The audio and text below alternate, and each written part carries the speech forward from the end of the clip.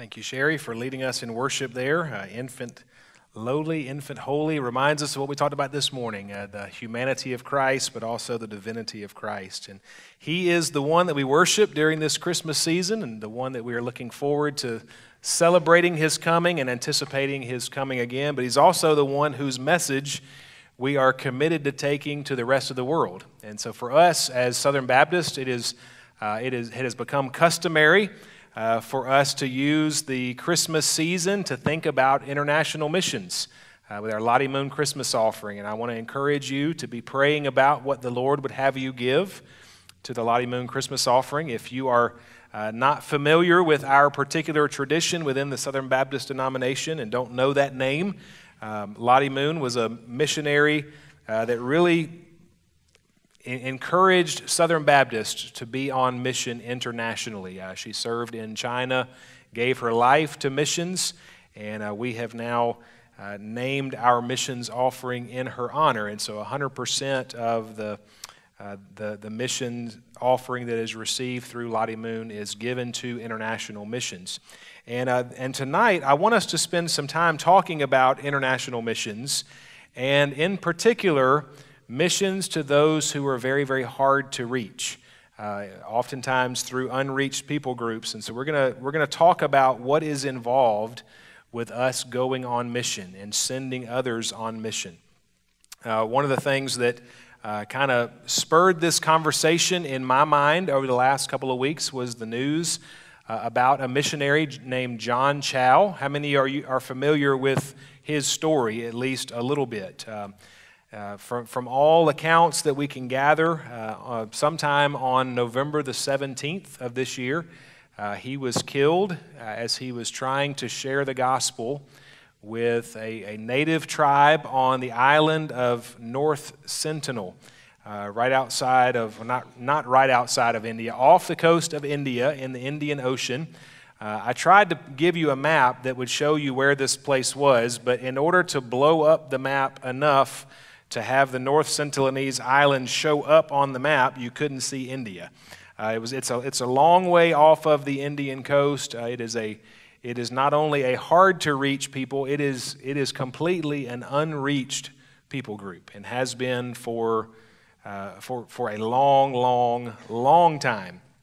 And I think it was Thanksgiving afternoon that I saw on Twitter uh, just a little bit about his death and about uh, how those circumstances came about. And it wasn't much longer that I began to see things on Twitter, uh, just reaction from, from different sides, uh, some that were very positive. In fact, uh, one, of the, one of the natural ties with uh, John Chau and his story is the way it kind of points us back to what happened with Jim Elliot. Uh, many of you know his story very well, that he and, and four other men uh, set out to reach the Auca tribe uh, off the coast of Ecuador back in 1956. And uh, they were seeking to do much of what John Chau was seeking to do among the North Sentinelese people. And, uh, and they too were killed in the process of that. So for Christians, when we heard this news, uh, we, we think of stories like Jim Elliot, and we think of sacrifice, and we think of commitment. Uh, but then, as you begin to, to listen to and hear and read some of the things uh, that were shown in the, the more secular media, uh, it became fairly obvious fairly quickly that this was a story that we needed to know more about before we made any judgments. Uh, and I think more than that, it is a story that I, that I think we can learn from. I think it's one that we can be reminded of the high cost of missions and, uh, and, and take an opportunity to consider that. Um, Ed Stetzer, who writes for Christianity Today, uh, you'll, you'll, see his name a couple of times uh, in this particular discussion. And uh, sometimes you'll notice that the, the tagline under his name says Christianity Today, in which he is writing to a Christian audience and he's trying to help us uh, reflect on how this affects our mission and how we are to understand mission among indigenous people. And then sometimes you'll see that the, tagline, instead of saying Christianity Today, says Washington Post. Uh, because he also writes for many secular newspapers and, and magazines and blogs and websites. And so um, he he does a really good job of trying to bridge the gap between the church world and the secular world. Well, he, he shared in Christianity Today that John Chau's death made world news and sparked mostly negative and antagonistic reactions toward the idea of missions in general and Chau in particular. Now, you might read that, and that might be a total surprise to you. You may be stunned by the fact that uh, here the, the death of a missionary could, could lead to antagonistic reactions uh, from the secular media. Uh, J.D. Payne, who uh, organizes a podcast uh, called Strike the Match, in which he is uh, dedicated to telling the story of missions. Um, he said the secular media is not too keen on things happening in the body of Christ, especially when it comes to issues related to unreached people groups. Uh, so, if you didn't read any of these stories, some of the reaction was with the understanding or the assumption that John Chau was uh, totally oblivious to what his presence on the island, uh, how it may have affected the, the natives who were already there. Uh, I saw one interview in particular in which uh, someone was outraged that he would bring diseases to their island. And uh, certainly there was a report. Uh, and I think that the general understanding of this situation has been that he was going to an island uh, onto which uh, visitors were strictly prohibited. How many of you have heard that? That it was illegal for outsiders uh, to visit that island. Uh, we're going to talk about some of those things uh, tonight and, and uh, get a little bit more of the story and hopefully learn a great deal about how we can approach. international missions and, and missions to hard people. But one of the things that we need to understand from the very beginning is that going on mission and being on mission, being a missional people, is controversial. Um, it may not be controversial in the church, but it is certainly controversial in the world. And uh, speaking of the differences between um, Jim Elliot and John Chau, Stetzer says there are certainly differences between Elliot and Chau, but what has really changed is our culture. Uh, the, the, the reaction that a secular world around us has to the idea of, of taking the gospel and, and inviting change by indigenous people. Uh, Stetzer says people are more negative about missions, partly because of mistakes missionaries have made, such as colonialism, a lack of cultural awareness, and more. And uh, he said in his Christianity Today article, we must realize the very notion of conversionary Protestantism is offensive to many in the Western world. This idea that, that we have something that you need and we're going to sell it to you, basically. That's the way the, that's the, way the secular world around us sees that. And it's very controversial. Uh, they, they see the church as being arrogant uh, as a result of that, that, that we're trying to uh, force people to come into uh, to our particular molds. Uh, he goes on to say, for many, missions is a story of heroes and gospel advance. And it certainly is for us. We like to celebrate that story. Um, if you don't know, I, I, like to spend Wednesday nights uh, between Thanksgiving and Christmas celebrating that story and looking at the lives of missionaries who have gone before us and learning from them and being challenged by them and inspired by them. And this year I'm doing that with the life of David Brainerd, uh, who also was uh, a missionary to Native Indians, not on some faraway uh, island out in the middle of the ocean, but, but right here in America back in the, the 1700s. And so if you uh, if you are free Wednesday night and can join me for that Bible study, we'll look a little bit more at the life of David Brainerd. But so for many like us, missions is a story of heroes and gospel advance. But for others, missions is a story of colonialism, genocide, triumphalism, and cross cross cultural disasters. Uh, now, here's one of the things that we need to remember as we embark uh, on, on any kind of mission. Uh, Stetzer said that Christians worldwide genuinely believe that people who hear and respond to the gospel are better off when they do. Now, this is a, this is a theological test for us uh, because one of the things that I have discovered is that if we don't have a right view of the necessity of Jesus in people's lives, we probably will not have a right view into world missions. Um, I, I can't tell you how many times I have sat with people, talked with people, interacted with people, either personally or on social media, about the idea about that guy who's sitting on the tip of Africa or that guy who's, who's on a remote island out in the middle of nowhere, and, and how is this person going to be judged eternally?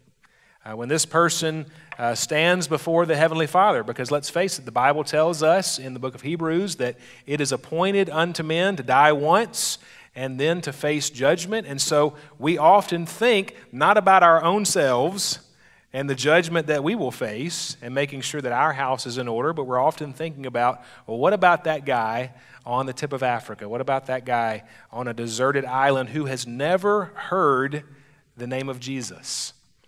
And the thinking goes a little bit like this Surely a loving God would not hold anyone responsible for a message they have not heard.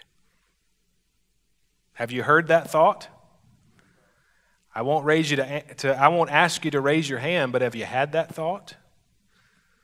It's a, it's a very understandable question. And that's why uh, it is good for us to reiterate to ourselves on a very regular basis what Jesus said. Jesus said in John 14, 6, I am the way and the truth and the life, and no man comes to the Father except through me. Now, we can have debates about logical conclusions, we can have debates about limited access, we can have discussions uh, about those people. But I'll tell you what, we would be safe if we would just side with Jesus. And Jesus said that He is the only way. There is no other name under heaven by which men can be saved. And if we understand that, then we will genuinely believe that people who hear the gospel are better off when they do. Let me tell you the, the flip side of that. If we don't think that people will be held responsible for a message they have never heard, logically, people would be better off if they never hear the message. I hope you understand that that is the logical conclusion of that thought process. And so, if that's true, we ought to shut down our mission efforts because we would not want to bring anybody under the responsibility of hearing the message about Jesus, but that is not what the Bible teaches. The Bible teaches that Jesus is our only hope.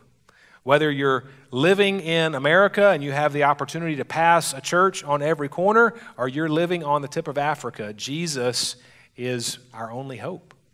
And so we have to get that message to those who have never heard. That's, that's why a church like ours takes the entire month of December to raise money for international missions. This is why we send mission teams to different parts of the world because we believe that people are desperately lost without Jesus.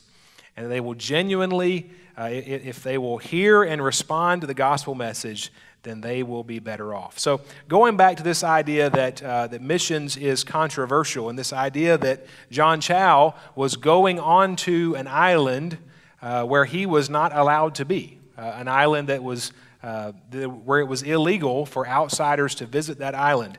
Um, through a, a few interviews with a couple of different ladies who are attached to the mission organization uh, through which John Chau went to this island, a, a missionary organization called All Nations. Uh, Ed Stetzer and others have had opportunities to sit down with a few of the leaders of all nations and clarify some of the things. And, that, and one of those things is that John Chau uh, was under the understanding that the, the ban against outsiders visiting the island had been lifted. In fact, here is an article from the India Times back on August the 8th. Uh, this is one of many different places that you can read this from Indian sources. Uh, this article says Indian government has decided to remove restricted area permit from 29 islands in Andaman. That's the area that we're talking about for foreigners. And went on to say now people from the other countries can also visit, and it listed a host of other island nations, and right in the middle of that list was North Sentinel Island.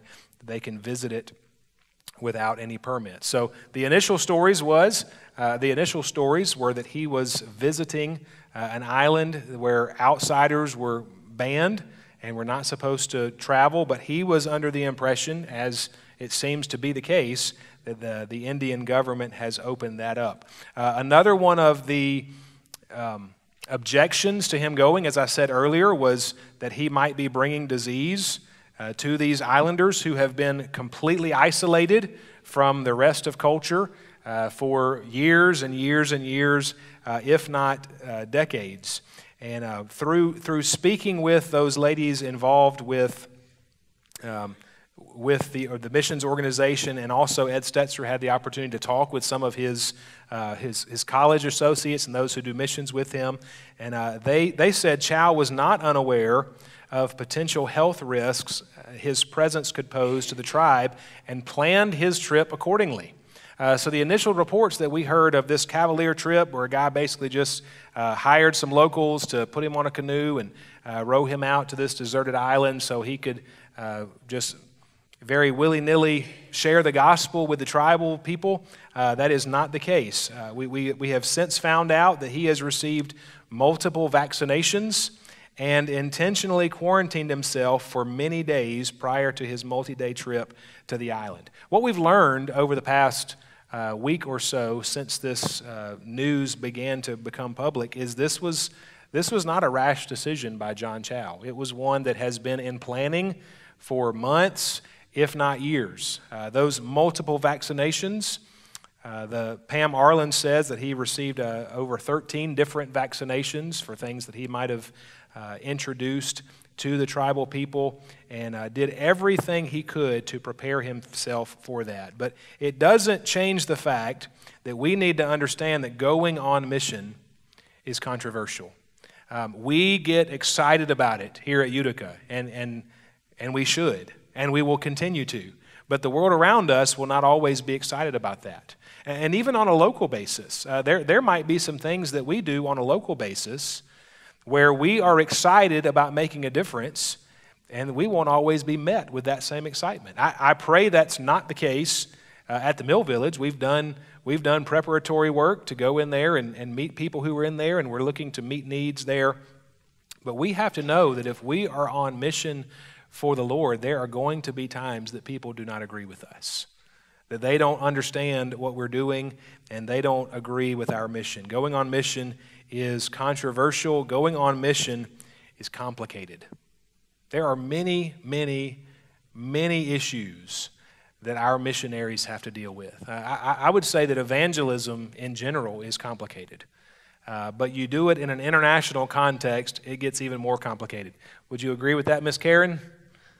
It's a little bit harder, a little bit harder than just going across the street and sharing the gospel with our neighbors and our coworkers. Uh, Dr. Pam Arlund, who is on the international leadership team with uh, the All Nations Missions Organization, she said this John knew it was dangerous, of course, and he attempted several different ways to give gifts to the inhabitants. If you know the story of Jim Elliot, uh, you may know a few more of the details of the, the lengths to which Elliot and his fellow missionaries went to try to introduce themselves from a distance to the Auca people, uh, dropping gifts from, from balloons on airplanes and, and doing uh, all sorts of different things to kind of slowly introduce themselves uh, to the Auca people. And of course, in spite of all of that preparation, in spite of all of that intentionality, uh, they were met with the same fate. So John knew that it was dangerous. Um, she also shares that he had already started taking linguistic and anthropological notes in his journal. Much of what we know about his last few days on the earth, we know because he kept a very extensive journal. And because he left that behind, they found that. He, he specifically mentioned the All Nations uh, Missions Organization because he wanted them uh, to be able to get his journal. And in that journal, he was taking linguistic notes and anthropological notes. He wanted to learn the language of the people, he wanted to understand how their society was built and how their social norms were put together because he wanted to become a part of their society. Now, here's where, uh, even for those of us who never intend to go uh, into international missions as a full time calling in our life, this is a really good insight for us. Because as we seek to share the gospel with people, it always behooves us to, to know those people well. The better we know someone, the better we can reach them with the gospel. You know, I think about uh, Philip and the Ethiopian eunuch and how Philip started, not where Philip wanted to start necessarily, but Philip saw that the Ethiopian eunuch had the scroll of Isaiah out. And so he didn't take him back to the Roman road and say, well, listen, this is what Paul talks about. He, he wanted to reach the Ethiopian eunuch where he was. And so he talked about that scroll in Isaiah and, and the one to whom it pointed. And so we would do well to know that we will be more effective in our evangelistic strategies the more we know the people to whom we are sharing our faith. That is a great reminder to us that we cannot just, you know, uh, get inside of our holy huddles and, and huddle up together in safety against the outside world and expect to be successful in our evangelism. We have to we have to live among people. We have to know people. We have to understand their thought processes. And uh, John certainly did that. Uh, Stetzer says In personally talking with some of Chau's friends, I learned that his purpose was to live on the island for years and build a relationship with the people, to help them through. Uh, to help them through his medical training, uh, to learn their language, and then to tell them about Christ. Let me just go back to that. Here's another thing that we can learn uh, in terms of missions and evangelism. Sometimes it's going to take years. Sometimes it might take days, sometimes it might take weeks or months, but, but we have to be willing to be in it for the long haul uh, because the results, hopefully, are going to last for an eternity. Uh, so we, we need to learn that from, from John Chau and be willing to pay the price uh, to do things the right way. Now, Stetzer, in reflecting on this, and you got to keep in mind, Stetzer is a missiologist. He is one who has given his life to not only the study of missions, but the strategies of missions. And so when he looks at the life of John Chau and he looks at this particular story, he does uh, have some, some unique insights as to some things that maybe Chau could have done uh, a little bit differently. For example, Stetzer says that Jesus sent his disciples out two by two. Uh, he says the Bible has much to say about the importance of teams and community. Of course, he's talking about Luke chapter 10. Uh, in particular, it says in Luke 10 1, the Lord appointed 72 others and sent them on ahead of him, two by two, into every town and place where he himself was about to go. You know, we've heard the, we've heard the term that there is safety in numbers. Uh, Jesus seems to endorse that. Jesus seems to give us wisdom that when we are doing outreach, when we're doing evangelism, when we're doing missions, um, that, that, there is safety in numbers. Uh, Stetzer says teams bring collective discernment and provide a safeguard against unwise attempts at mission, missionary endeavors. And according to uh, one of these ladies, Mary Ho, who was uh, one of the directors at uh, at this missions organization, All Nations. According to her, there was a team who was willing to go with Chau, but he chose instead to go alone. Uh, so, so we need to hear that. We need, we need to understand that sometimes our own fervency for a particular project uh, needs to be compared and contrasted against what the wisdom of a collective body might say. Uh, I, I think that's one of the reasons that that I'm so very excited that Southern Baptists have a missions organization in which they uh, commission and send out missionaries, and they, they keep this sort of thing in mind. And we need to be uh, aware of that and learn from that. Uh, of course, one of the things that comes into play is what Jesus says in Mark chapter 6, verse 11 If any place will not receive you, and they will not listen to you, when you leave, shake off the dust that is on your feet as a testimony against them. Uh, you know, Jesus seemed to be indicating that there are places that just don't want the message. And we have to take that into consideration. Uh, he, he says to us, uh, I, think, I think which applies to our personal evangelistic endeavors, not to cast the pearl before the swine, to recognize that there are some people who are just not ready for the gospel.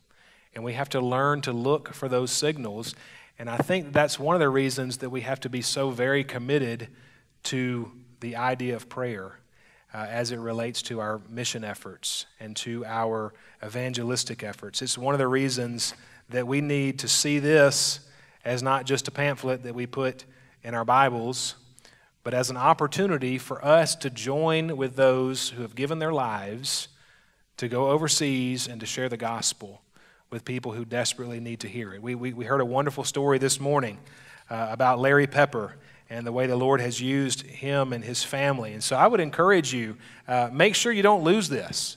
Uh, use this throughout the week uh, because uh, our missionaries have difficult decisions to make and they have, they have a high cost to pay. Uh, John Chau's first attempt at entering onto the island, he was trying to deliver some gifts, and apparently, the first time the, uh, the natives saw him approaching their island, they shot at him with arrows.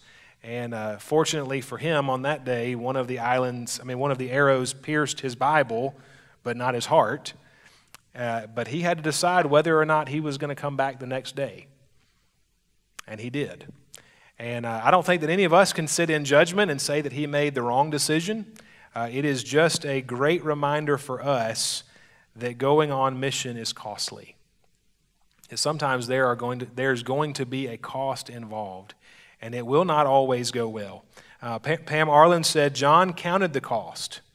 He, he very much knew what he was getting into. He counted the cost, and in the last few hours before his death, he counted the cost again, and he decided that Jesus was worth it. You know, when I read that phrase, when I read, and then this comes from his journal, one of his last journal entries. And in fact, his final journal entry is this You guys might think I'm crazy in all this, but I think it's worthwhile to declare Jesus to these people. And if we learn nothing else from John Chau, I think we need to be challenged and inspired by that statement, by that conclusion, that he knew the risk that he was getting into and he was willing to pay the cost to bring, to bring Jesus to people who desperately needed to hear that message. Now, for most of us, we will never face that particular decision. And most of us will never encounter that kind of cost for sharing the gospel. And I think that is a, a, a, a stark reminder for us that the costs that we often think of are not nearly as high as the costs that many people are, are paying. Because going on mission and being a missional people is a costly endeavor. Uh, sometimes it's going to cost us financially, uh, as, as, we see during the Lottie Moon Christmas offering season, that we, we, we want to give sacrificially because people need to hear the gospel. Uh, we, we shared at the jingle jangle jam party that we always try to make the Lottie Moon Christmas gift the biggest gift that our family gives throughout the year because there's no gift that's, that anyone needs to receive that's any more precious than the gospel.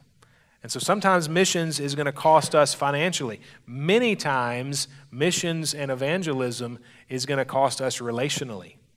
You know, when we, when we stick our neck out there, when we take the bold step, of talking about Jesus with those who need to hear it, uh, we're, we're not always going to be received well.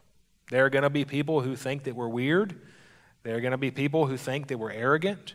And, and the more that we get into uh, the changing of the culture around us, there are going to be people that think that we're bigoted and narrow minded.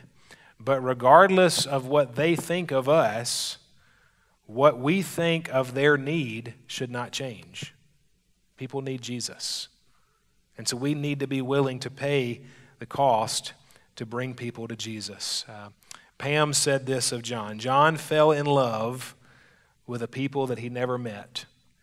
And he loved them even at the moment that they were attacking and killing him. I wonder if we have that kind of love for people. I know sometimes when my family is attacking me, I don't even want to love them sometimes. And I know them pretty well. And I know they feel the same about me. But are we going to love people that well? to be willing to risk, to be willing to invest, to be willing to change our life uh, because we understand what Jim Elliot said. These were his kind of not famous last words. I don't know if they were his last words, but uh, they, they were some of the words that, that he spoke to people in his life that thought he was crazy. He said, He is no fool who gives what he cannot keep to gain what he cannot lose. And there may be some of you out here tonight, and you need to hear those words as a parent or a grandparent or an aunt or an uncle or just an encouraging friend because there may very well be people in your life that feel called to a mission that you think is silly and too costly for them. A mission that may go against your particular dreams for your loved one we need to remember what Jim Elliot said.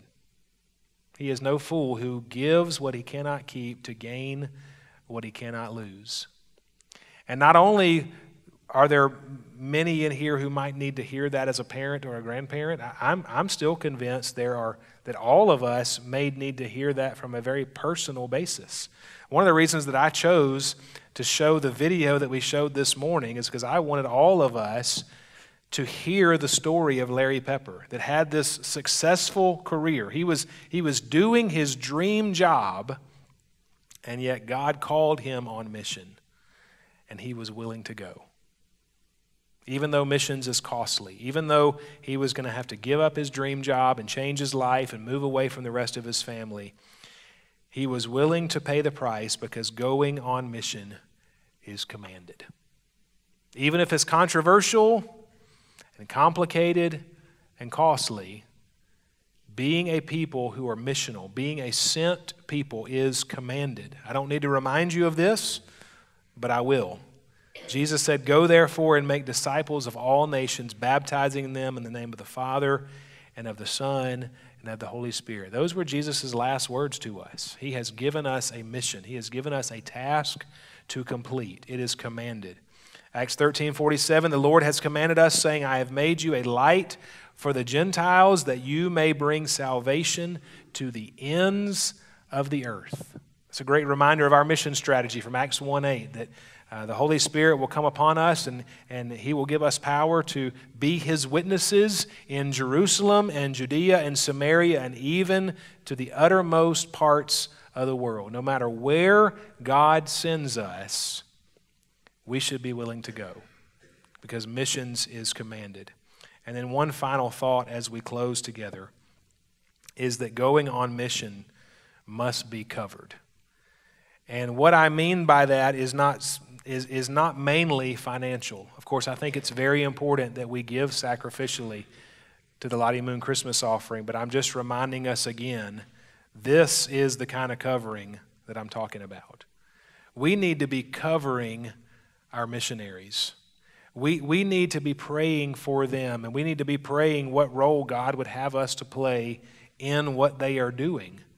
But at the very, very least, praying that God would give them safety and, and health and, and, and His guidance as they seek to do a very, very difficult task. Um, I am always amazed at the Apostle Paul and his regular request for prayer. Um, I, I, meet with a group of guys on Thursday mornings, and we are just finishing up the book of First Thessalonians. And in chapter 5, Paul says to the church at Thessalonica, Pray also for me.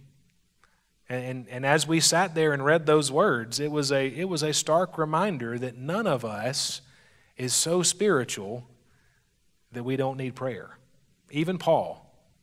In fact, Paul, I think, goes out of his way to say, I need you to pray for me. Colossians 4 2, continue steadfastly in prayer, being watchful in it with thanksgiving, and at the same time pray also for us that God may open to us a door for the word to declare the mystery of Christ.